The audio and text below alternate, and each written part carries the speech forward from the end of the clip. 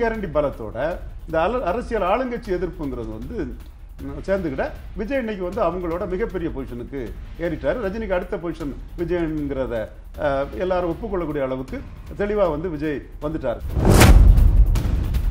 Raid நடந்ததில் வந்து அந்த நெய்வேலியில் விஜயை ட்ரீட் பண்ண விதம் வந்து விஜயும் விஜய் சார்ந்தவர்கள் மத்தியிலையும் மிகப்பெரிய ஒரு சிம்பதியை விஜய்க்கு கொடுத்துருக்கு. சர்வ வல்லமை படைத்தவர் மோடி. நேருவோட பெரிய பவர்ஃபுல் பிரைம் மினிஸ்டர் மோடி.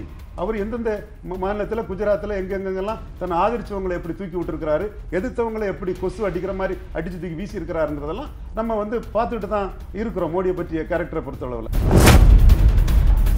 நீங்க வந்து மோடியை சீன்றதாட்டு சீண்டிட்டு இருந்தீங்கன்னா வேற யாரோ ஒரு பின்னணியில் சீண்டிருக்கீங்கன்னு சொன்னீங்கன்னா மோடியை பொறுத்தளவில் அதற்கான பின்விளைவுகளை உங்களுக்கு தரதில்ல அவருக்கு இங்க எந்த நஷ்டமும் வரப்போறதில்ல. விஜய் இந்த விஷயத்துல மோடி விஷயத்துல கேர்ஃபுல்லா இல்லைன்னா இன்னும் இந்த உண்மைகள் வெளியே போகும்போது விஜய் கிறிஸ்தவர் அதனால தான் மோடியை சீன்றாருங்கிற மாதிரிலாம் போகும்போது மோடிக்கு கோபம் உக்கிரமானா உங்கள்கிட்ட என்ன அந்த கோபம் எடப்பாடி மூலமா வரும்ன்றீங்களா எப்படி? நிச்சயமா இன்னைக்குள்ள சூழ்நிலை எடப்பாடி மூலமா வர்றதுக்கு வாய்ப்பு இருக்கு.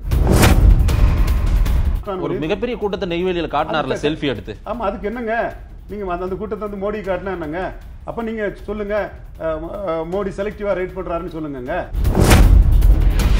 அது இதெல்லாம் மோடிட்ட நடக்காது லட்சுமணன். மோடி ஜெயலலிதாவை வீழ்த்தி விட்டாருன்றீங்களா எப்படி? வீழ்த்தல்ல பொறுப்பு கவுனரை போட்டு உங்க இடம் இதுதான்னு நடையா நடங்க மேடம்னு நிரூபிச்சாரா இல்லையா? சோ விஜயும் மோடி விஷயத்தில் ரொம்ப எச்சரிக்கையா இருங்கன்னு சொல்றீங்க அதே மாதிரி. நிச்சயமா. ஜெயலலிதாவே அலைய விட்டாரு நீ ஏமாத்திரம் அப்படின்றீங்களா நிச்சயமா நிச்சயமா. நிச்சயமா. நீங்க இதுல வந்து இடி மேட்டர்லாம் ஏதாவது கடந்ததுன்னா இறக்கமே காட்ட மாட்டாங்க. மாஸ்டர் படம் ரிலீஸுக்கு முன்னாடி அரசியல் ரீதியா ரெண்டு பிரச்சனைக்குள்ள விஜய் இருக்கிறாரு. அரசியல் ரீதியா. ஒண்ணு மோடி எதிர்த்த பிரச்சனை. இன்னொன்னு பிகில் படத்துக்கு முன்னாடி எடப்பாடிய விமர்சித்த பிரச்சனை. இல்ல பிகில் பட அந்த பகை இன்னமும் இருக்குமா திரு எடப்பாடி அவர்களுக்கு? அத மனசுல வச்சிருப்பாரா? இல்ல அரசியல் வந்து சான்ஸ் தானே. அந்த டெம்பரரி மூவ்மெண்ட் தானே. சரி. அந்த மூவ்மெண்ட்ல விஜய் எல்லாம் எடுக்காண்டாங்க விட்டு தள்ளுங்கன்னு சொன்னா விட்டு தள்ளினதுதான். என்ன நம்மள ரொம்ப போட்டு பாக்குறாரு அடிச்சு பாத்துருவோம் அரசு அதிகாரம்னா என்னன்னு அவருக்கு தெரியட்டு. விஜய டேமேஜ் பண்ணணும்னு பாஜகவுல இருக்காங்க அப்போ. இல்ல இல்ல இல்ல. பாஜக இலக்கு எதுவும் இல்லைங்க.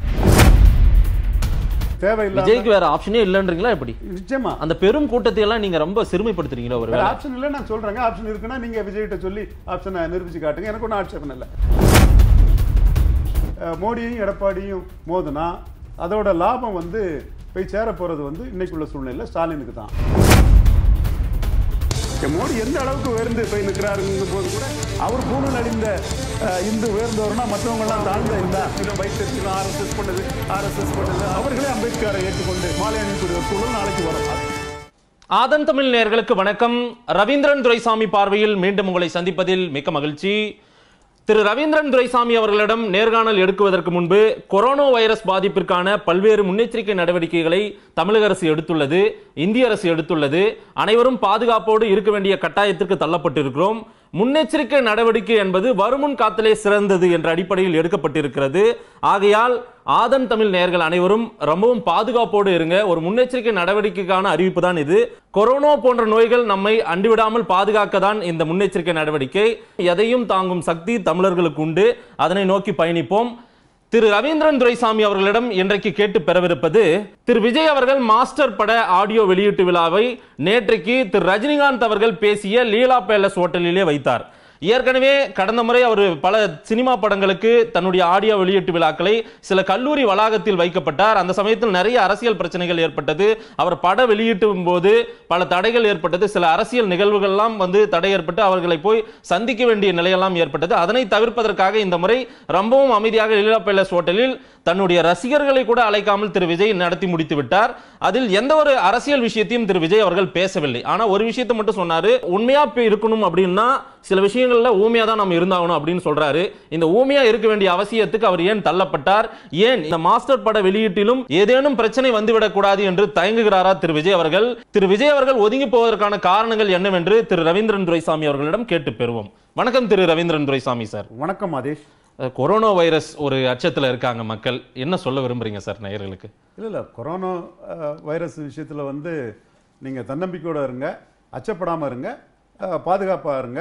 அரசு சொன்ன வழிமுறைகளை கடைப்பிடிங்கிறது தான் நான் என்னோட வேண்டுகோளாக சொல்ல முடியும். பீதி அடையாண்டாம். அதே டைமில் அலர்ட்டாக இருங்க. திரு விஜய் அவர்கள் திரு ரஜினிகாந்த் அவர்கள் பேசிய அதே லீலா பேலஸ் ஹோட்டலில் தன்னுடைய மாஸ்டர் பட ஆடியோ வெளியீட்டு விழாவை முடித்திருக்கிறார். ரசிகர்கள் கூட கூப்பிடல அதற்கான வருத்தத்தை பதிவு செய்திருக்கார் சில விஷயங்களுக்காக நான் அழைக்கல அப்படின்றாரு. உண்மையா இருக்கணும்னா சில நேரங்களில் ஊமையாக தான் இருக்கணும் அப்படின்றாரு. ஏற்கனவே அவருடைய பட பிரச்சனைகள்லாம் நிறைய அடிக்கடி ஏற்பட்டது. பட அவருடைய படம் வெளியாகும் போதெல்லாம் சில அரசியல் நிகழ்வுகள் ஏற்பட்டது. சில கட்சிகள் அவரை வந்து ரொம்ப அவரை வந்து நேரடியாக சந்திக்க வேண்டிய சில இதையெல்லாம் நிர்பந்தப்படுத்தியது. ஆனால் இந்த முறை அப்படியெல்லாம் நடந்துடக்கூடாதுன்னு கடந்து போறாரா திரு. விஜய் அவர்கள்? ஆளுங்கட்சியை எதிர்த்து ஒரு ஆக்ஷன் ஹீரோ நிற்கும்போது அவருக்கு படத்தோட மார்க்கெட்டிங் ரேஞ்ச் வந்து நூறுன்னா கண்டிப்பாக நூற்றம்பது ஆகும். இந்த லாபத்தை வந்து திமுக கழகங்கிற சக்தியை சக்தியோட எம்ஜிஆர் நிற்கும்போது எம்ஜிஆருக்கு கிடைச்சிது. எம்ஜிஆர் வந்து அதே வேளையில் காமராஜ் போன்ற காங்கிரஸ் தலைவர்களையும் புகழ்ந்து பேசி எதிர்ப்பு இல்லாமல் தான் கொண்டு போனார். ஆனால் ஒரு ஆ- ஆளுங்கட்சிக்கு எதிரான ஒரு போர்க்குணம் கொண்ட ஒரு கதாநாயகன் கேரக்டர் வந்து அவருக்கு மினிமம் கேரண்டியை வந்து உயர்த்திச்சு. அடுத்தபடியாக அண்ணன் சிவாஜி அவர்களுக்கு எழுபத்தி ரெண்டில் அவர் மத்தியிலையும் மாநிலத்திலையும் எந்த அதிகாரம் இல்லாத காமராஜ் பின்னாடி நின்ற சூழ்நிலையில் அவருக்கும் வந்து மினிமம் கேரண்டியில் வந்து அந்த எழுபதுக்கு மேலே வந்து அந்த அரசியல் வந்து ஒரு அவர் மிகப்பெரிய கலைஞர் அரசியலை தாண்டிய ஒரு கலைஞர். ஆனால் அவர் அவர் ஹீரோவர்ஷிப் படங்களுக்கு வந்து ஒரு மினிமம் கேரண்டி வந்து அதிகரிச்சுது. அதனால தான் வந்து அன்னைக்கு ஆக்ஷன் அவர் பெரிய ஹீரோவர்ஷிப் படங்களான பட்டியாடாக்கப்பட்டனமா வசந்த மாலை வந்து ரெண்டு படமுமே ரெக்கார்ட் பிரேக் படமாச்சு. ஒ- ரிக்ஷாக்காரன் வசூலில் ரெண்டு படமே அடித்து மேலே போச்சு. ராஜா நீதி வசூல் படங்கள் ஞானவெளி பிளாக் யூனிட் படம் வந்து வெற்றி படம் தவப்புதல்வன் வெற்றி படம். இது தர்மம் இங்கே மட்டும்தான் தோல்வி படம். அப்போ வந்து எம்ஜிஆரே வந்து நம்பர் டூ ஆகிட்டார் எழுபத்தி ரெண்டில் எம்ஜிஆர் வந்து நம்பர் டூ தான். சிவாஜி தான் நம்பர் ஒன் அது மட்டும் இல்லை அப்போ எம்ஜிஆருக்கு நீர் நிரப்பும் சங்கை முழங்கு போன்ற படங்கள் எல்லாமே வந்து தோல்வி அல்லது பிரேக் இவனுக்கும் கீழங்கிற லெவலில் இருக்கும்போது நல்ல நேரம் மட்டும் ஓடிச்சு அது சாண்டா சின்னப்பா தேவர் வந்து மிருகங்களை பயன்படுத்தி அந்த படத்துக்கு வெற்றியை கொடுத்த கொடுத்துட்டாருங்கிற அளவுக்கு எம்ஜிஆரை கிண்டல் பண்ண காட்சிகளும் உண்டு. அது பிறகு எம்ஜிஆரும் தனிக்கட்சி ஆரம்பித்து ஆளுங்கட்சிக்கு எதிராக மாறி அது அவருக்கு உணவு சுற்றுவாலியன் உரிமை குரல் ரெண்டுமே வந்து சிவாஜியோட எல்லா படங்களோட வசூலையும் அடித்து ரெண்டுமே ரெக்கார்ட் பிரேக் படங்கள் அளவுக்கு அந்த சிவாஜியால் பதில் சொல்ல முடியாத ரெண்டு படத்துக்கு சிவாஜியால் பதில் சொல்ல முடியாத அளவுக்கு எம்ஜிஆர் ரொம்ப எழும்பி போயிட்டார். சிவாஜி ஒரு ஆளுங்கட்சியான எமர்ஜென்சியில் இ காங்கிரஸில் சேரும்போது சிவாஜிக்கு மினிமம் கேரண்டி வலிமையே ரொம்ப மோசம். போய் ஒரு மிகப்பெரிய கலைஞன் வந்து அஹ், கேலி கிண்டலுக்கு ஆளான ஒரு சூழல் வந்து உருவாச்சு. இன்னும் நீங்கள் இது உள்ளுக்குள்ளே பார்த்தீங்கன்னா ராமராஜனுக்கு வந்து ஜெயலலிதா தலைமையை ஏற்று எதிரணியில் இருக்கும்போது மனசுக்கேத்த மகராசா தங்கத்தின் தங்கம் தங்கமான ராசா இந்த மாதிரி இன்னும் ஒரு ரிசல்ட்டே வராத பாட்டுக்கு நான் அடிமை. மனசுக்கேற்ற ம- மகாராசாவா இன்னொரு படங்கள். படங்கள் பேர் அவ்வளோ சரியாக உடனே வரமாட்டாங்க. இந்த படங்கள்லாம் சேலம் மதுரை ஏரியாவிலெல்லாம் அன்னைக்குள்ள முக்கிய நடிகர்கள் படங்களை விட பிஎன்சியில் வந்து தாண்டி போகக்கூடிய அளவுக்கு இருந்தது. மெயின் சென்டர்களில் போகல. அப்போ அதுக்கு காரணம் அவர் எதிரணியான ஜெயலலிதானியில் இருந்தது ஒரு காரணம். ஆக நீங்கள் பார்த்தீங்கன்னா ஆளுங்கட்சிக்கு ஜாலரா அடித்து போகக்கூடிய நடிகர்களுக்கு வந்து படங்கள் விழுவதும் எதிர்கட்சியில் வந்து போர்க்குணத்தோடு நிற்கக்கூடிய ஒரு நடிகருக்கு வந்து படங்கள் கூடுதல் வசூலை கொடுக்கறது வந்து பல நடிகர்கள் இதில் பார்த்துட்டோம் ஏன்? ஜெயசங்கர் வண்டிக்கார மகன் எம்ஜிஆர் சீஃப் மினிஸ்டராக இருக்கும்போது உழைக்கும் இனமே உடன்பிறப்பு என்னோட வாருங்கள்ன்ட்டு கருணாநிதி வசனத்தில் எழுதின படமும் ஜெயசங்கர் படங்களே பெரிய வசூலை குவிச்ச ஒரு படமாக இருந்தது. ஸோ அந்த ஒரு அந்த ஒரு பார்வை வந்து நடிகர்களுக்கு கிடைக்குது. அது ஆக்ஷன் ஹீரோவாக இருக்கவங்களுக்கு வந்து மீண்டும் ஒரு புஷ்ஷை கொடுக்குது. அந்த வகையில் விஜய்க்கு வந்து கடைசியாக மூணு படங்கள் வந்து பெரிய புஷ்ஷை கொடுத்துட்டு படத்துக்கு சினிமாட்டிக் தன்மையை தாண்டி புஷ் வந்து மூணு படத்துக்கு கொடுத்துட்டு அந்த மொதல் படம் வந்து மெர்சல் மெர்சலில் ஜிஎஸ்டியை விமர்சனம் பண்ணார். அப்படி விமர்சனம் பண்ணும்போது வந்து டாக்டர் தமிழிசையும் வெச் ராஜாவும் வந்து தேசிய பாஜக செயலாளர் ஒருத்தர். இன்னொருத்தர் வந்து மாநில தலைவர். ரெண்டு பேரும் அந்த படத்துக்கு எதிராக நிறைய பப்ளிசிட்டியை இலவசமாக பல கோடி கொடுத்து கொடுக்க வேண்டிய பப்ளிசிட்டியை ரெண்டு பேரும் வந்து எல்லா செய்தி பத்திரிகைகளில் சேனல்களில் கொடுத்து விவாதம் விவாதம் நடந்தது. ஸோ ஆரம்பத்தில் வந்து ஒரு சாதாரண படங்கிற அந்த படம் வந்து டக்குன்னு வசூல் ரீதியாக வந்து பிக்கப் ஆக ஆரம்பிச்சிடுச்சு. இதில் என்னன்னா இந்த படத்துக்கு தலைவா தலைவா நிலைமை ஆயிருமோங்கிற ஒரு அச்சம் வர அவர் வந்து என்ன பண்ணாருன்னா எடப்பாடி பழனிசாமியை போய் விஜய் பார்த்தாரு. பழனிசாமி வந்து அஹ், எச் ராஜாவையும் தமிழக பாஜக தலைவரையும் ம- தேசிய பாஜக செயலாளரையும் மதிக்கலை. இன்னைக்கு தமிழிசையை போய் பார்க்குறாரு மந்திரியெல்லாம் தமிழிசையை பார்க்குறாங்கன்னா இன்னைக்கு மோடியோட ஒரு நம்பிக்கைக்குரிய ஒரு கவர்னராட்டு இருக்கிறனால இது அந்த மத்திய அரசு இதுக்காக போய் பார்க்குறாங்க. அன்னைக்கு தமிழக பாஜக தலைவர் தமிழிசை எதிர்த்தும் எடப்பாடி பழனிசாமி வந்து மெர்சல் படத்துக்கு எந்த ஒரு சிக்கலும் கொடுக்கல. விஜய் வந்து நேரில் பார்த்தாரு. பார்த்ததுக்குள்ள அந்த இதை மரியாதையை படத்துக்கு எந்த டிஸ்டர்பன்ஸும் இல்லாமல் லாண்ட் ஆர்டரை மெயின்டைன் பண்ணி படத்தை சுமுத்தா ஓடக்கூடிய வழிவகை அரசாங்கம் தமிழக அரசு செய்து கொடுத்தது. அது விஜய் வந்து என்ன நினச்சிட்டாருன்னா தன்னோட பலத்துக்கு தான் இதை பண்ணுறாங்கங்கிற நினைப்பில் சர்க்கார் படத்தில் வந்து மிகப்பெரிய அளவில் வந்து அரசுக்கு எதிரான விமர்சனங்கள் இருந்து அது அதிமுக செய்தி தொடர்பாளர்கள் தொடர்பாளர்கள் அவங்கெல்லாம் வந்து அதை முருகதாஸோட வன்மத்தில் பண்ணுறாருலாம் சொன்னாப்புல. என்னையா வன்மம் சொல்லுன்னெல்லாம் நம்ம சமசர சமரசம் அண்ணனை தான் நான் கேட்டேன். சொல்லுங்க பார்த்துடலான்னு அப்போ அந்த சூழ்நிலையில் வந்து அரசு என்ன நினைச்சதுன்னா விஜயோட கன்சென்ட்டோட தான் இது ஃபுல்லாக நடக்குது. விஜய்க்கு இதில் ஃபுல் ஹேண்ட் இருக்குதுன்னு நினச்சி அவங்க என்ன பார்த்தாங்கன்னா விஜயை பற்றி நம்ம கவலை இல்லை. நாம இதுல வந்து ஜெயலலிதா வந்து அவமானப்படுத்தப்படுறாங்க. அப்ப ஜெயலலிதா அவமானப்படுத்துறதுக்கு நாம போர்க்குளம் போடணும் படத்தை வந்து சட்டம் ஒழுங்கை கையில் எடுத்து தேட்டரை அடிச்சு நொறுக்கணுங்கிற அளவுக்கு அவங்க போறாங்க. அப்படி அவங்க போனது வந்து தினகரனுக்கு எதிராக தான் போறாங்க. விஜய் பற்றி அவங்க விஜய்க்கு எதிராக பார்க்கல விஜயை பற்றி அக்கறையும் படல. சரி. மெர்சலுக்கு வந்தாரு கிளியர் பண்ணிட்டு போயிட்டாரு. இப்போ இந்த படத்துல நமக்கு எதிராக சீண்டி இருக்கிறாரு. ஓகே அதனால அவரை பற்றி நம்ம பெருசா அக்கறைப்படாண்டா ஆனா அஹ், தினகரனோட ஜெயலலிதா மேல நமக்கு தான் அக்கறை இருக்குன்னு காட்டுறதுக்கு இதை அடிச்சு ஓடிக்கணும்னு எல்லா இடமும் சட்டத்துக்கு புறம்பா வந்து ஆளுங்கட்சியை வந்து மெர்சலுக்கு அந்த நலத்திட்ட உதவிகள் சம்பந்தமான காட்சிகள் வந்தது எதிர்ப்பு தெரிவிச்சாங்க. அது தினகரனுக்கான எதிர்ப்பு. தினகரன் இந்த போராட்டத்தில் கையில எடுத்துக்கூடாது அதனால அதிமுக போச்சுன்றீங்களோ? நிச்சயமா அதனால தான் சர்க்கார் படத்துக்கு அதிமுக வந்து தினகரன் ஜெயலலிதாவுக்கு விசுவாசி இல்லை நாங்க தான் விசுவாசி காட்ட போனாங்க. விஜய் பலியாடு இடையில. சரி.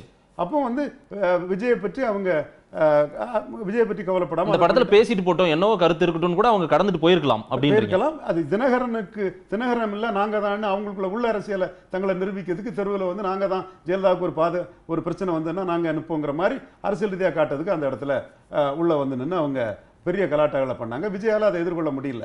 தன்வலியும் துணைவலியும் மாற்றாமலியும் தூக்கி செயலுன்னு சொல்லும்போது அவங்க இறங்கி அடிக்கும்போது விஜய் வேறு மன்றத்தை வச்சுட்டு என்ன செய்ய முடியும்?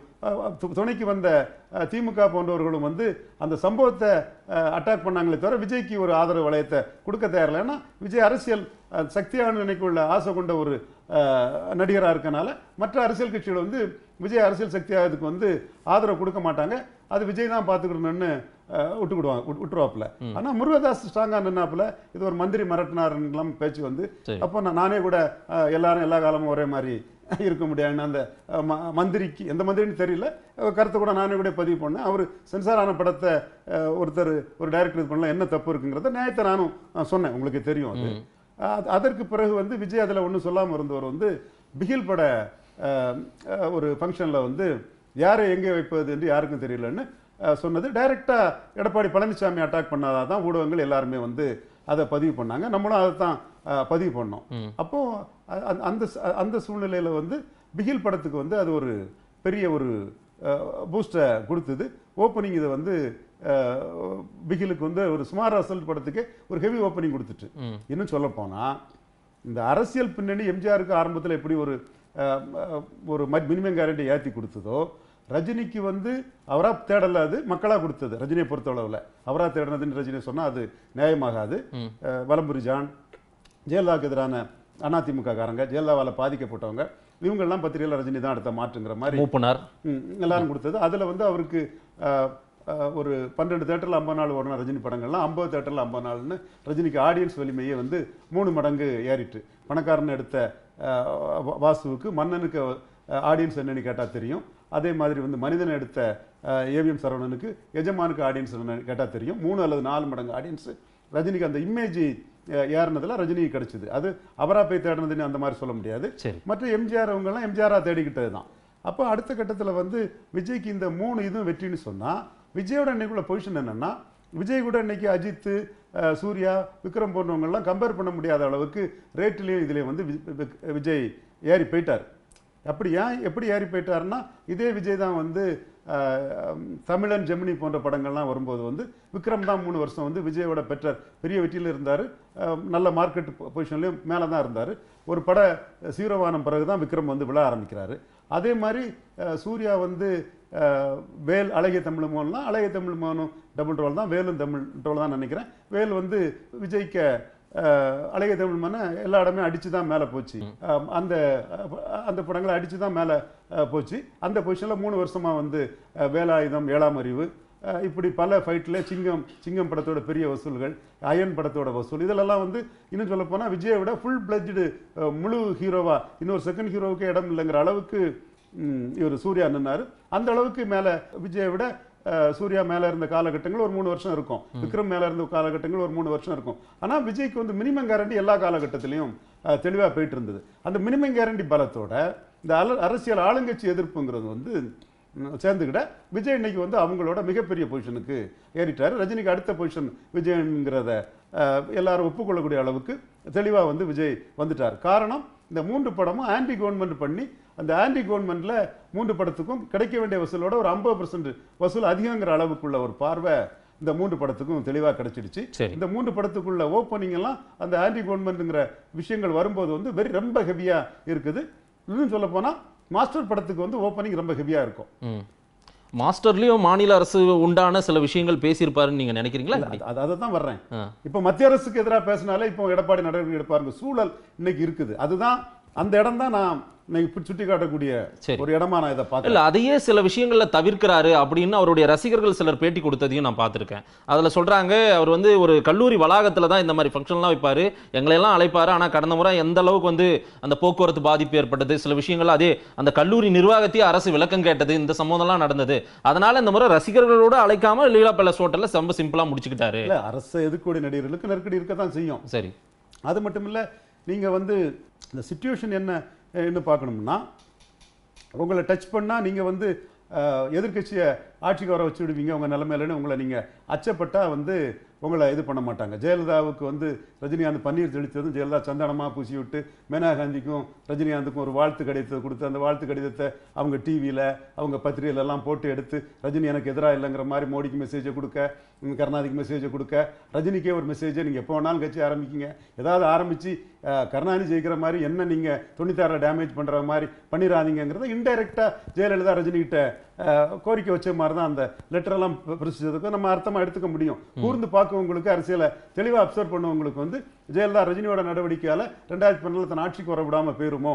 அப்படி நம்ம ரஜினியை பயக்காண்டா? ரஜினிக்கு ஒரு உரிய முக்கியத்துவத்தையோ அல்லது தன்னளவில் ஒரு கூடுதல் முக்கியத்துவத்தையோ கொடுத்து அதை நம்ம சரி கட்ட பார்ப்போங்கிறத அந்த லெட்டரும் அந்த லெட்டரில் உள்ள வரிகளும் நீங்கள் எல்லாம் எது எடுத்தாலும் முயற்சி பண்ணி வெற்றி பெறணுங்கிற மாதிரி எல்லாம் வாழ்த்து தெரிவிக்கும் போது நான் களத்தில் இருக்கும்போது எடுத்துடாதீங்கிற ஒரு ரிக்வெஸ்ட் தான் அதில் இன்டைரக்டா இருக்குது. ஆனால் விஜய் விஷயத்தில் நீங்கள் தினகரனை ஜெயலலிதா பற்றாளர்ல நாங்கள் தான் ஜெயலலிதா பற்றாளர்னு காட்டுறதுக்கு விஜய் படத்தை இறங்கி சட்டத்துக்கு புறம்பா அநியாயமா தான் அடிச்சாங்க. அதுக்குள்ள பேனர் எல்லாம் கிளிப்பு சம்பவங்கள். சட்டத்துக்கு புறம்பா தான். அது நம்ம அதை நியாயப்படுத்துறது வந்து முறையாகாது நான் என்னைக்குமே நியாயப்படுத்தக்கூடியவனும் இல்லை. இன்னும் அந்த விஷயத்துல வந்து அந்த மந்திரி கிட்ட கூட எல்லாரும் எல்லா காலம் ஒரே மாதிரி இருக்கக்கூடாதுன்னு எந்த மந்திரி தெரியல.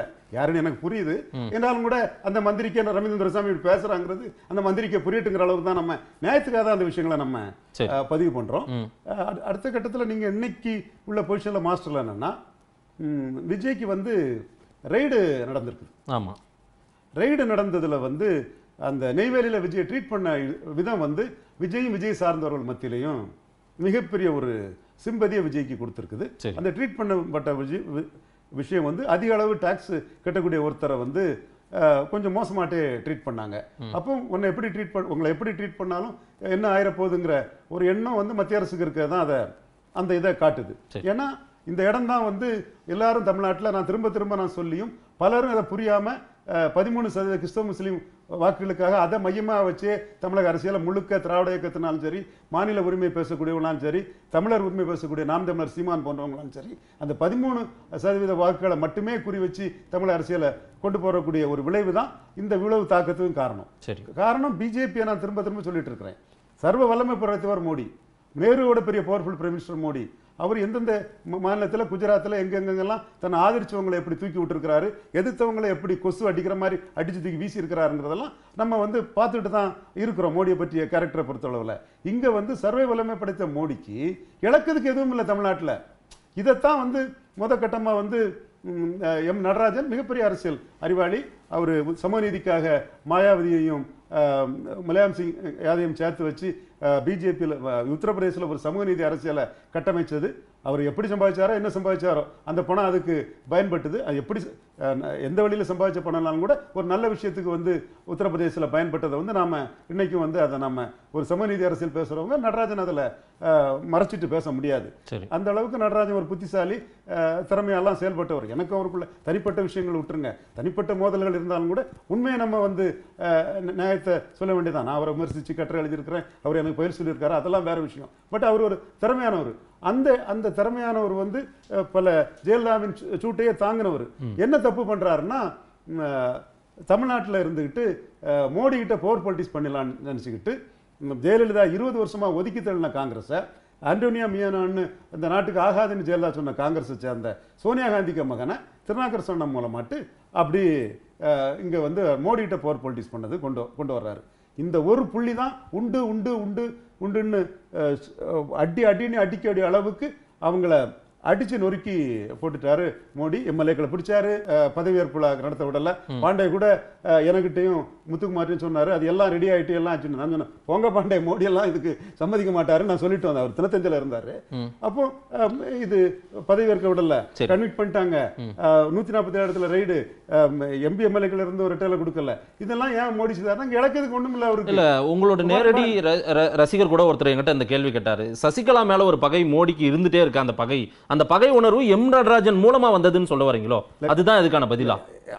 இது இதுவும் ஒரு காரணம். சில காலங்கள் வரும்போது தான் எல்லாத்தையும் சொல்ல முடியும். சரி. இதுவும் ஒரு காரணங்கிறது வந்து ராகுல் காந்தியை காட்டி மோடி கிட்ட போர் பொலிட்டிக்ஸ் பண்றீங்களாங்கும் போது அவரை காட்டி என்கிட்ட போர் பொலிட்டிக்ஸ் பண்ண அளவுக்கு வந்துட்டீங்களாங்கிறது ஒரு முக்கிய காரணம். சத்யன் குருமூர்த்தியோட தாக்கங்கள் வேற.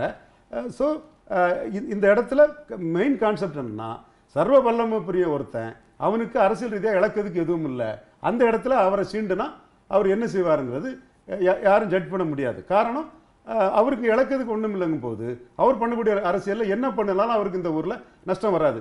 அதே வேளையில் வந்து எடப்பாடி பழனிசாமி ஏன் அன்னைக்கு விட்டாங்கன்னா அப்போ நானே சொன்னேன் எல்லா துறையிலும் சொன்னேன் இந்த மாதிரி எடப்பாடியை ட்ரீட் பண்ண மாட்டாருங்க. இவர் கொங்கு வேளாளர் கம்யூனிட்டி சேர்ந்தவங்க. அவங்க கம்ப்ளீட்டாக அந்த கம்யூனிட்டி வந்து நேஷனல் மைண்டட் கம்யூனிட்டி மேலும் வந்து லாலு யாதவ் யாதவையும் நிதிஷ்குமார் குருமியும் அடித்தது மாதிரி இங்கே முக்குலத்தோரையும் அடிச்சுக்கிட்டு அடுத்தபடியாக கொங்கு வேளாளரையும் சேர்த்து அடிக்க மாட்டாங்க. அதனால் கொங்கு வேளாளரை வந்து ஒன்றும் பண்ண மாட்டாங்க எடப்பாடி ஒன்றும் பண்ண மாட்டாங்கிற கருத்தை அந்த இடத்துல நான் தெளிவாகவே சொன்னேன். உத்தரப்பிரதேச எலெக்ஷனும் இருந்தது. அந்த எலெக்ஷன்ல பாதிச்சிடக்கூடாதுங்கிற எண்ணமும் அரசியல் ரீதியா வந்து தமிழ்நாட்டினாலும் கூட அன்னைக்கு அந்த குருசியல் எலெக்ஷன் இருந்தனால ஒரு எண்ணமும் அன்னைக்கு மோடிக்கு அந்த வகையில இருந்திருக்கலாம். எடப்பாடியை ஒன்றும் பண்ணல. இப்பவும் எடப்பாடி மேல மோடி என்ன ஒரு குட்டில் வச்சிருக்காருன்னா அலையன்ஸ் நமக்கு கிடைக்கல. அப்போ வந்து நம்ம லைபிலிட்டி லைபிலிட்டின்னு பேசினவங்க கூட கடைசி நேரத்துல நமக்கு நம்பி ஒரு அலையன்ஸ் தந்தாப்புல. ஒன்றும் லாபம் இல்லை. சரி. ஆனா ஒரு அலையன்ஸை தந்தாரு அந்த ஆளுங்கிறதுல அதை மதிச்சு தான் அந்த என்டிஏல வந்து இது ஒன்றும் பிரயோஜனம் இல்லாத எடப்பாடி பழனிசாமியை இது ஒரு சீட்டு பிரயோஜனம் இல்லாத எடப்பாடி பழனிசாமியை முன்மொழியக்கூடிய ஒரு அந்தஸ்தை மோடி கொடுத்தாப்புல. மோடிக்கு கேரக்டர் அது. அப்ப அதைத்தான் நம்ம சொல்ல வர்றோம்.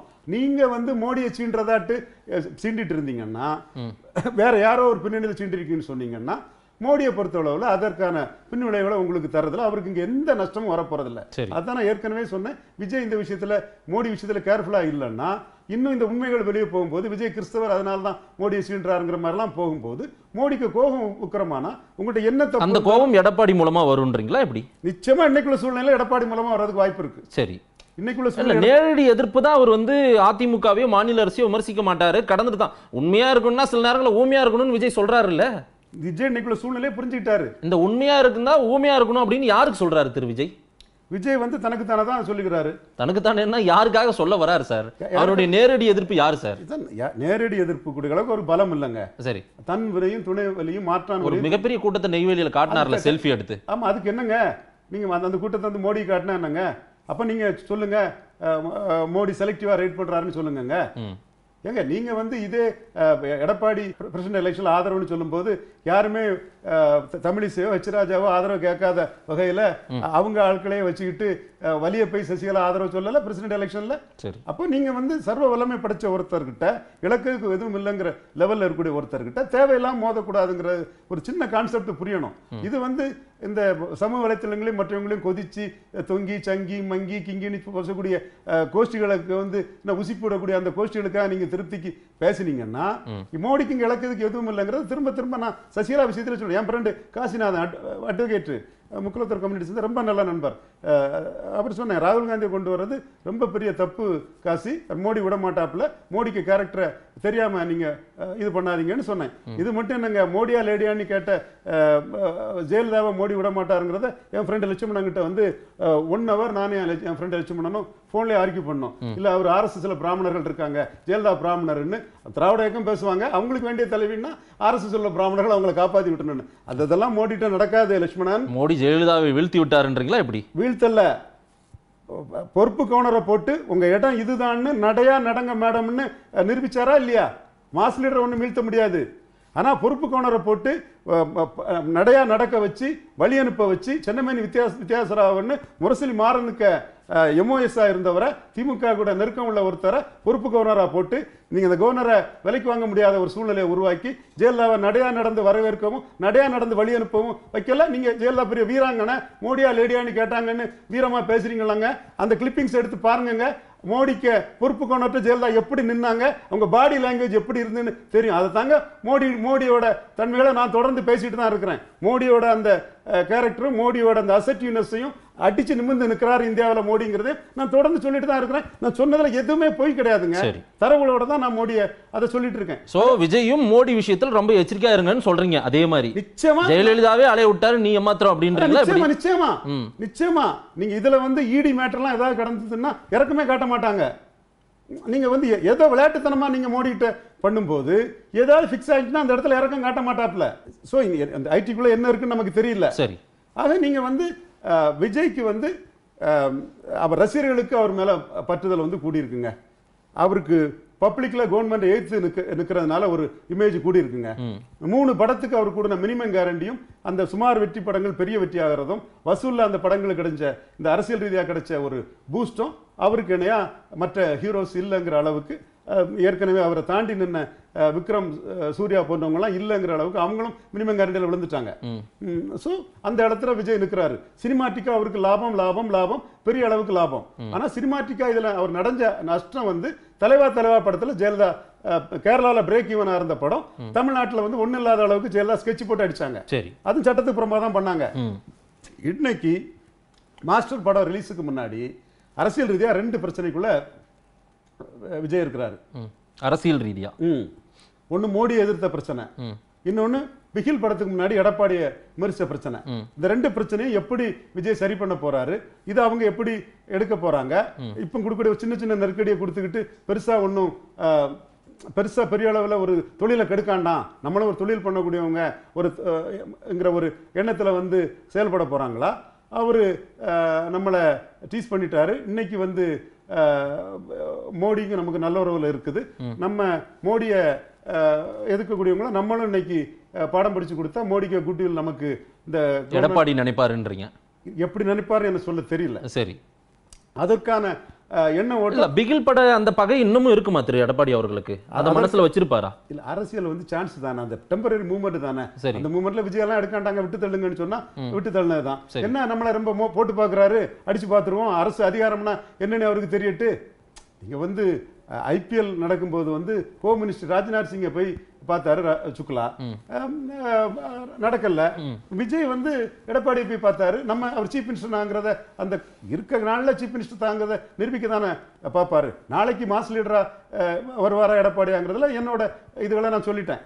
முயற்சி பண்ணுவாரு. ரிசல்ட்டுக்குள்ள நான் அதுல போக விரும்பலங்கிறது நான் சொல்லிட்டேன். பட் இன்னைக்கு தான் சீஃப் மினிஸ்டரா இருக்கும்போது தன்னை சட்டத்துக்கு தன்னை ஒருத்தர் சீண்டி பார்க்க நினைச்சாரா? அல்லது தான் நெருக்கமா இருக்கக்கூடிய பிரைம் மினிஸ்டர் ஒருத்தர் சீண்டி பார்க்க நினைச்சாருன்னா அவர் அதுக்கு ஏதாவது வினையாற்ற நினைக்க வாய் வினையாற்ற வாய்ப்பு இருக்குல்ல?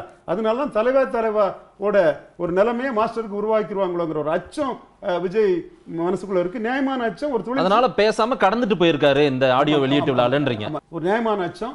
பலரும் இன்வால்வ் ஆகி தொழில் செய்யக்கூடிய ஒருத்தருக்கு அந்த தொழிலுக்கு கஷ்டம் வரக்கூடாதுன்னு நினைக்கக்கூடிய அச்சம். அந்த அச்சம் விஜய்க்கு இருக்குன்னு தான் நினைக்கிறேன்.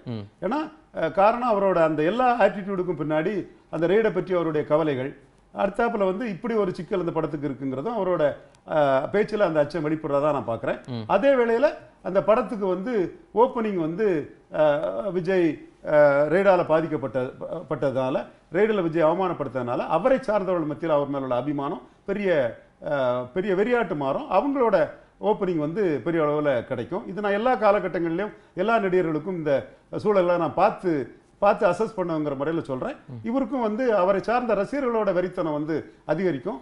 அவரை சார்ந்த அந்த கிறிஸ்தவ முஸ்லீம் வாக்கு ஓட்டர்ஸ் வந்து சினிமா பார்க்க ஆடியன்ஸ் வந்து குறைவாக இருந்தால் கூட விஜய் படத்துக்கு சாதாரண படத்துக்கு சினிமா கிறிஸ்டின் முஸ்லீம் ஆடியன்ஸ் வந்து சாதாரண படத்துக்கு பத்து பர்சன்ட் இருப்பாங்கன்னா இந்த படத்துக்கு இருபத்தஞ்சு பர்சன்ட் ஆடியன்ஸ் வந்துருவாங்க.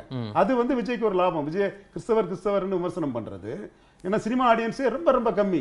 அப்படி இருக்கும்போது அவரை ஒரு ரிலிஜியனோட சேர்ந்து விமர்சனம் பண்ணும்போது அந்த ரிலிஜியனை சேர்ந்தவங்க வந்து பொதுவாக ஒரு அஞ்சு பேர் படம் பார்ப்பாங்கன்னா விஜய் படத்தை இருபது பேர் படம் பார்த்தாங்கன்னா டோட்டல் வசூல்லே ஒரு பதினஞ்சு பர்சன்ட் வசூல் வந்து ஜாஸ்தி வர ஆரம்பிச்சிருது இல்லையா?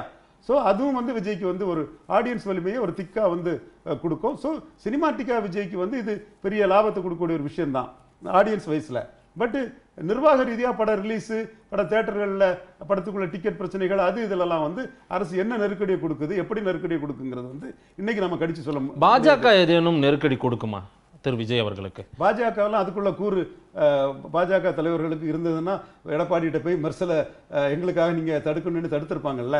அப்போ அவங்க பரிதாபமா தானே கச்சராஜாவும் மாநில அஹ், பாஜக தலைவர் தமிழிசையும் போனாங்க. இன்னைக்கு தமிழிசை வெயிட்டாக இருக்காங்கன்னா கவர்னராக இருக்கிறாங்க அவரை எல்லாரும் பார்க்குறாங்க. இன்னைக்கு தமிழிசை நினச்சா சில விஷயங்களை பண்ண முடியுங்கிற லெவலுக்கு அவங்க இருந்துட்டு இருக்காங்க அதிமுக மந்திரிகளே தங்கமணி வேலுமணி எல்லாம் போய் பார்க்குறாப்புல. முதலமைச்சர் போய் பார்த்தாங்கன்னா இது மத்திய அரசோட ஒரு ரெப்ரசன்டேட்டிவ்ங்கிற ஒரு வெயிட்டேஜ் அன்னைக்கு த- தமிழக பாஜக தலைவரால் அது பண்ண பண்ண முடியலை. இன்னைக்கு வந்து பாஜக இது அந்த விஜய கிராக்டவுனுடைய பொசிஷன் யார்கிட்ட கொடுக்கப்பட்டிருக்குது? அவர் என்ன நினைக்கிறாரு? ஒரு லிமிட்டோட போதும்னு யார் நினைக்கிறாரு? சார் அது? இல்ல தெரியல எனக்கு. இருக்காங்க ஆனா. விஜய டேமேஜ் பண்ணணும்னு பாஜகவுல இருக்காங்க அப்போ இல்ல இல்ல இல்ல. பாஜக இலக்குக்கு எதுவும் இல்லைங்க. தமிழ்நாட்டுல. ஆமா.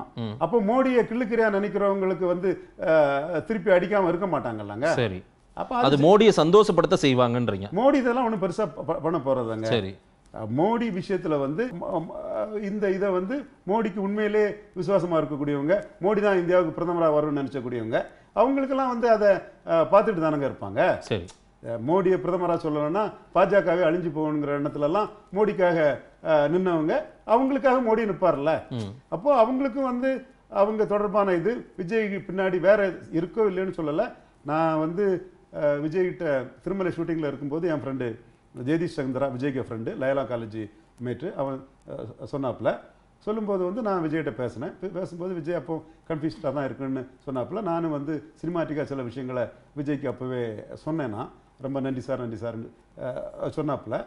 அந்த அந்த- அந்த அளவுக்குல எனக்கு விஜய்க்கும் அந்த என் ஒரு நண்பருக்காக இதை பண்ணினேன். பட் விஜயோட ப்ரொமோஷனில் எந்தெந்த லாபிக்கெல்லாம் ஒரு இன்வால்மெண்ட் இருக்குன்னு சொல்லும்போது பாஜக போன்றவங்க வேற சந்தேகத்தோட பார்க்குறாங்க. சரி. நான் அன்னைக்கு சொல்லும்போது சினிமாட்டிக்கா இதெல்லாம் ஒரு மேட்டர் இல்லைங்கிற கருத்தை தான் அதை விஜய்கிட்ட நான் சொன்னேன். இப்போ படம் நல்லா இருந்தால் என்டர்டெயினாக இருந்தால் எந்த மதமாக இருந்தால் எந்த ஜாதியாக இருந்தால் பார்த்துட்டு போவாங்க. இட் இஸ் அன் என்டர்டெயின் மீடியாங்கிற கருத்தை தான் நான் சொன்னேன். சரி. பட் அரசியல் ரீதியாக விஜய் உள்ள வராருன்னு சொல்லும்போது வந்து அதை பாஜக போன்ற கட்சிகள் வந்து இந்துக்களை மட்டுமே முன்னிலைப்படுத்தி பண்ணக்கூடிய கட்சிகள் வந்து அதை பெருசாக தான் நான் பார்க்கும் இப்ப பரப்புரை பண்றாங்கல்ல விஜய் ஒரு கிறிஸ்துவர் அப்படின்றது மிகப்பெரிய பரப்புரையா அவங்க கொண்டு போறாங்க. அந்த கோபத்தின் உச்சத்துல தான் வந்து விஜய் பேசாம உண்மையை சொல்லணும்னா சில விஷயங்கள் உண்மையா இருக்கணும்னு அவர் சொல்லிட்டு போறாரு. திரு விஜய் சேதுபதி பேசுறாரு. இங்க மதம் கடவுள்னு பேசுறவங்களை எல்லாம் நம்பாதீங்க அவங்க கூட பயணிக்காதீங்கன்னு விஜய் பேச வேண்டியதை விஜய் சேதுபதியை வைத்து பேசுகிறாரா? இல்லை விஜயை சந்தோஷப்படுத்த விஜய் சேதுபதி பேசுகிறாரா? இல்லை அதுக்குள்ள நான் போக விரும்பல. ஏன்னா விஜய் சேதுபதியும் ஒரு இண்டிபெண்டன்ட் ஸ்டாண்டிங் உள்ள ஒரு ஹீரோ அவருக்கு ஆள் இவருலாம் சொல்லக்கூடிய அளவுக்கு இல்ல இல்ல ரெண்டு பேரையுமே மதமாற்றம் சக்திகள்னு பேசுறாங்க இப்போ பாஜகவினர். அப்படின்னா கல அவருக்கு ஆளு அவருக்கு சபார்டினேட் இவருங்கிற மாதிரி உங்க கேள்வி வருது. அது எனக்கு உடன்பாடு. இல்ல சபார்டினேட்டா நான் கொண்டு போல. விஜய் சேதுபதி. ஒரு. அந்த இதுல எனக்கு உடன்பாடு இல்ல சரி நான் விஜய் சேதுபதியை சபார்டினேட்டா கொண்டு போகணுன்றது என்னோட விருப்பம் கிடையாது. ஒரு ஆளு தான். இண்டிவிஜுவல் பர்சன் தான். நான் அதுல எந்த மாற்றம் இல்ல ஆனா இது ஒரு மதமாற்றம் சக்திகள் இவங்களுக்கு வெளிநாட்டுல இருந்து பணம் வருது. இந்த மாதிரி மதமாற்றம் வேலையை பண்ணிக்கிட்டு இருக்காங்க அப்படின்ற விமர்சனம்லாம் வருது இல்ல? விஜய் மேலேயும் விஜய் சேதுபதி மேலேயும். இல்ல அது வந்து பாஜக போன்றவங்க வந்து இந்த மாதிரிப்பட்ட இஷ்யூலே கட்சி வளர்க்கக்கூடியவங்கள்ட்ட வந்து வேற என்ன எதிர்பார்ப்பீங்க? இதை அவங்க பேச இதே தான் வேலை. வச்சு கட்சி வளர்க்கறதுக்கு இதான் வேலை சொல்லி தானே கட்சி வளர்ந்துருக்காங்க. நீங்களும் அதுக்குள்ள போய் விட்டில் பூச்சி மாற அஹ், தானே காங்கிரஸ் வந்து இந்தியா ஃபுல்லா தோத்துட்டு இருக்கு எந்த இடத்துல வளர்றாங்களோ அந்த இடத்துல யாருக்கு இந்துக்களுக்கு உறுதியானவர்னு அவங்க சொல்றாங்க. நீ இந்துக்களுக்கு உறுதியானவன் தான் உறுதியானவன் சொல்லி சொல்லி தானே காங்கிரஸ் இந்து ஓட்டுகளை அவங்கள்ட்ட மேல ஏத்தி விடுது. குஜராத் மேட்டில் அதானே பண்ணாப்ல குஜராத் மேட்டில் நம்ம அந்த விஷயத்தை நம்ம என்னைக்குமே ஏற்றுக்கொள்ள முடியாது. சட்ட ஒழுங்கு பிரச்சனையில ஏற்றுக்கொள்ள முடியாது. ஆனா அஹ், அந்த விஷயத்தை ஹைலைட் பண்ணி பண்ணி பண்ணி தானே மோடியை வந்து காங்கிரஸ் தானே மோடிக்கு எதிர்மறை பிரச்சாரம் பண்ணி இந்துக்கள் மத்தியில் ஓட்டை ஏற்றி விட்டது. ஸோ அப்படி அதில் வந்து அவங்களுக்கு பொதுவாகவே அவங்க பல மாநிலங்களில் அதில் ஓட்டு யாருன்னு ஒரு சூழ்நிலை இருக்கும்போது அதில் தானே அவங்க போவாங்க. சரி. இல்ல ரஜினி விஷயத்தில் ஒரு சாஃப்ட் டோன் எடுத்துக்கிட்டு விஜய் கொஞ்சம் அமைதியா போற மாதிரி தெரியுதா உங்களுக்கு ஏதாவது? விஜயா? ஆமா. விஜய்க்கு அரசியல் என்ட்ரு அரசியல் என்டர் பண்ணோம்னா ஒரே ஆப்ஷன் ரஜினிக்கு அவுட் சைடு சப்போர்ட் கொடுக்கறத தவிர ஒரு ஆப்ஷன் இல்லைங்கிறத நான் எஸ் ஏ சந்திரசேகருக்கு அவர் ரஜினி எனக்கே சொல்லிட்டீங்க நேர்காணல்லே அது. தேவை- தேவையில்லாம விஜய்க்கு வேற ஆப்ஷனே இல்லைன்றீங்களா எப்படி? நிச்சயமா. அந்த பெரும் கூட்டத்தை எல்லாம் நீங்க ரொம்ப சிறுமைப்படுத்துறீங்களா ஒரு ஆப்ஷன் இல்ல நான் சொல்றேங்க. ஆப்ஷன் இருக்குன்னா நீங்க விஜய்கிட்ட சொல்லி ஆப்ஷனை நிரூபிச்சு காட்டுங்க. எனக்கு ஒன்றும் ஆட்சேபம் இல்ல. சீயிங் இஸ் பிலீவிங் அதே நான் விஜய்க்கும் Yes, believing. பார்த்துட்டு போகும் அதுல இன்னும் ஒன்றும் மேட்டர் இல்லைங்க. நம்ம வந்து தெளிவா பேசுறோம். ரஜினிக்கு சபார்டினேட்டா இருக்கணும்ன்றீங்க விஜய. சப்பார்டினேட்டுங்கிற வார்த்தை சொல்ல அவுட் சைடு சப்போர்ட்டுங்கிற outside support outside சப்போர்ட்டுங்கிற வார்த்தை சரி சரி ம். சப்பார்டினேட்டுங்க வார்த்தையை சொல்லல. அது நான் யாரையும் வந்து குறைச்சு மதிப்பு அந்த அப்படி அந்த இது நமக்கு கிடையாது. சரி. நீங்க என்னன்னா இப்போ விஜய் வந்து சிஐக்கெல்லாம் எதிராக பேசியிருக்காரு. ஐம்பத்தி மூணு பர்சன்ட் ஓட்டு இதுல வச்சுட்டு இருக்கா பல ஸ்டாலின். ஸ்டாலினுக்கு வந்து சூப்பர் ஃப்ளோஸ் மீண்டும் வந்து ஸ்டாலினை ஸ்ட்ரெங்தன் பண்றாரு. அவ்வளவுதான். அது இலவசமா ஸ்டாலினை ஸ்ட்ரெங்தன் பண்ணி கொடுக்குறாரு. அவரோட பேச்சு அரசியல் ரீதியா ஸ்டாலினுக்கு லாபம். அவர் அந்த பேச்சோட எதிர்ப்புகள் வந்து அஹ், பாஜகவுல இருந்தும் அதிமுகவுக்கும் மாஸ்டருக்கு வந்ததுன்னா அது நஷ்டம் வந்து அரசியல் ரீதியா வந்து விஜய்க்கு பெரிய நஷ்டம். அரசியல் ரீதியா விஜய்க்கு வந்து இதுல லாபமே இல்ல. பத்தோட பதினொன்னு அத்தோட இது ஒன்னாட்டு எத்தனையோ பேர் சிஐக்கா சிஐக்காக ஸ்டாலினுக்காக பேட் பண்ணிட்டு இருக்கும்போது மறைமுகமா வெளிப்படையா இல்லாம ஸ்டாலினுக்காக மறைமுகமா அஹ், விஜய் இதுலயும் பேசுறாரு. லாபம் அதுல ஸ்டாலினுக்கு தான் வரும். ஸ்டாலினை தாண்டி வேற யாரும் அதுல லாபத்தை எடுத்துட முடியாது. விஜயும் அதுல லாபத்தை எடுக்கக்கூடிய நிலைமையில அவர் இன்னைக்கு இல்ல. நிச்சயமா வந்து ரெண்டாயிரத்தி இருபத்தி விஜய் பொசிஷன் பண்ணிட முடியாது. அரசியல் ரீதியா அவர் பொசிஷன் பண்ணணும்னா ரஜினிக்கு அவுட் சைடு சப்போர்ட் கொடுக்கறத தவிர அரசியல் ரீதியா விஜய்க்கு பொசிஷன் பண்ணதுக்கு வேற வாய்ப்பே இல்லை ரெண்டாயிரத்தி இருபத்தி ஒண்ணு விட்டுருங்க சார். இருபத்தி ஆறோ முப்பதோ அது மாதிரி காலகட்டங்கள்ல திரு விஜய் விஜய்க்கு நேரடியா அரசியல் எண்ணம் இருக்கா ஆசை இருக்கா விஜய்னாலும் சரி சூர்யானாலும் சரி அஜித்னாலும் சரி சிவகார்த்திகேயனாலும் சரி யாருனாலும் குரோட் புல்லர் வந்து ஒரு கொள்கைகளை சொல்லி வந்தா அதுக்கு ஒரு வாய்ப்பு கிடைக்கும். அது விஜய் தான் இல்ல. நம்ம விஜய் பேர் தான் அடிப்படுது அதிகமா. ஏன்னா ரஜினி இடத்த பொசிஷன் பண்ணிக்கிட்டார் விஜய். ஏறக்குறைய ரஜினிக்கு அடுத்தபடியா வந்துட்டாருன்னு நீங்களே சொல்றீங்க. ஏன்னா ரஜினி வந்து கமலும் ரஜினி டாப்பா இருக்கும்போது விஜயகாந்த் வரல. அதோட கீழ லெவல்ல இந்த சரத்குமார் வரல. சரி. அரசியல யாரும் யார் வர்றதையும் தடம் தடை பண்ண முடியாது இல்ல. நான் ரெண்டாயிரத்தி இருபத்தி விஜய் பொசிஷன் பண்ணிட முடியாது. அவரோட ஒரே வாய்ப்பு வந்து அவுட் சைடு சப்போர்ட் ரஜினி. மட்டும்தான் ஒரே வாய்ப்பு. ஸ்டாலினுக்கு சப்போர்ட் கொடுத்தா அந்த சப்போர்ட்டுக்கு வந்து ஒருவேளையில ஸ்டாலின் தோல்வி அடைந்தா விஜய் ராசி இல்லாதவர் சிவாயனசம் மாறிப்பாங்க வெற்றி பெற்றா அது உதயநிதி ஸ்டாலினுக்கு உழைப்புன்னு சொல்லுவாங்க. சோ அதுல அங்க எந்த லாபம் இல்ல. லாபம் இல்ல. சரி. லாபம் இல்ல. இப்ப இன்னைக்கு வந்து முப்பத்தெட்டு சீட்டு எடுத்து ஜெயித்து நிற்கக்கூடிய ஒருத்தர்கிட்ட போய் விஜய் போய் நின்னாருன்னா ஏற்கனவே நீ இல்லாத போதே முப்பத்தெட்டு ஜெயித்துட்டம்பான்னு. அதானே சிவாஜிக்கு சொன்னாங்க. அதுதானே சரத்குமாருக்கு சொன்னாப்ல சரத்குமார் திமுக சேரதுக்கு முன்னே நாடார்கள் வந்து ஒரு குறிப்பிடத்தக்க அளவு நாடார்கள் வந்து கருணாநிதிக்கு ஓட்டு போட்டுட்டு தான் இருந்தாங்க. பெரும்பான்மை நாடார் கருணாநிதிக்கு எதிராக இருந்தா கூட ஒரு குறிப்பிடத்தக்க நாடார்கள் ஓட்டு போட்டுட்டு தான் இருந்தாங்க. அந்த நாடார்கள் தான் கருணாநிதிக்கு மீண்டும் ஓட்டு போட்டுட்டு இருக்கும்போது சரத்குமாருக்கு அதுல என்ன இருந்திருக்கு? சரத்குமார் சேரதுக்கு முன்னாடியே கருணாநிதி ஆட்சிக்கு வரலையா எண்பத்தொன்பதுல சோ அப்ப அதுல நீங்க எல்லாம் ஒண்ணு இல்லைங்கிற மாதிரி தான் அது முடிவாகும். எம்ஜிஆரை பொறுத்தளவுல அது வளரும் கட்சியில இருந்தாரு பதினஞ்சு பர்சன்ட் கமிட் ஆகி மாற்று சக்தியா எம்ஜிஆர் வரும்போதே எம்ஜிஆர் கருணாநிதி அண்ணா மூணு பேருக்குமே வேல்யூ உண்டு. அமாங் ஈக்குவல் மோர் ஈக்குவலா அண்ணாவுக்கு அதுல வேல்யூ அதிகம். அப்போ விஜய்க்கு இன்னைக்கு வந்து ஒரு அரசியல் களத்துக்குள்ள நாளைக்கு வரணும்னா இதுவரை வாக்கு வலிமை எஸ்டாப்ளிஷ் ஆகாம தன்னோட வாக்கு ரீதியா பொசிஷன் பண்ணி களத்துக்குள்ள மாற்றத்தை உருவாக்குன்னு சொல்லக்கூடிய ரஜினிக்கு ஒரு அவுட் சைடு சப்போர்ட் கொடுத்தாதான் அ- அ- அதன் அதை பின்தொடர்ந்து வந்து அஹ், இரண்டாயிரத்தி இருபத்தி இருபத்தொன்னு பேஸ் பண்ணி விஜய்க்கு ஒரு வேல்யூ வரும். ரெண்டாயிரத்தி இருபத்தி ஆறுல சூர்யாவும் வரலாம் விஜயும் வரலாம் அஜித்தும் வரலாம் ஏன் சிவகார்த்தியும் கூட வரலாம ஒரு சிவகார்த்தியனை பொறுத்தளவில் இருபத்தி வரலாம். அவரும் வந்து ஒரு தேச தேசத்துக்காக உயிரை துறந்த ஒருத்தரோட மகன் தானே? சரி. ஒரு அரசு அதிகாரி நாட்டுக்காக உயிர் துறந்த ஒருத்தரோட மகன் தானே? சரி. எல்லாரையும் அரசியலுக்கு நம்ம கொண்டு வந்துருவோம் போல தெரியுது. விவாதம் பண்ணி. இல்ல இல்ல.